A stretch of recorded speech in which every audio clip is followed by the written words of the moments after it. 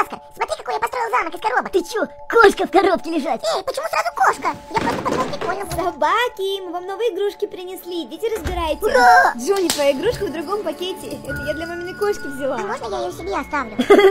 А когда мяукать ты начнешь? Что такого? Классная игрушка. Конечно, Джонни, оставь ее себе. Блин, я сегодня в этих кроссовках хотел поехать. Почему они мокрые? Да это Джонни написал тебе в кроссовок, он же у нас кошка. Джонни, это правда? Эй, нет, конечно, я не кошка, я мопс. Сколько вам? Реально, хватит. Я помыла твои кроссовки. Пошли уже, мы опаздываем. Да сколько можно надо мной издеваться? Неужели собакам не могут нравиться кошачьи игрушки? О, идея. Так, где тут мамин пакет? Оскар, го кушать, я создал. Ого, спасибо. Ммм, сегодня как никогда вкусный корм.